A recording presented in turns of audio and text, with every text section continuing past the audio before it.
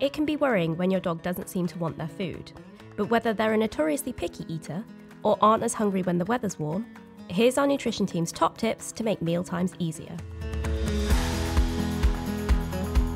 Add some warm water to their kibble. Boil some water, pour it over, and leave it to soften for about 15 minutes. Heat intensifies flavours, and softening the food can be ideal for those who may be missing a few teeth. Mix in some wet food. For fussy eaters, adding a complementary texture to their complete kibble can be a great way to get them eating again. It's best to introduce slowly if your dog hasn't had it before or for some time, to avoid any upset stomachs. Pop it in the microwave.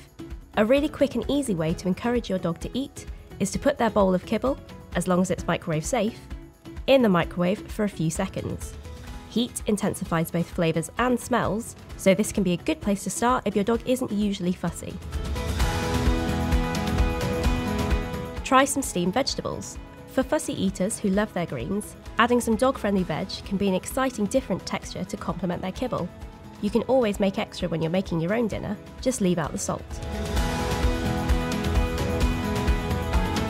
Finally, add a splash of gravy. Low salt, onion free gravy is a great way to encourage your dog to eat.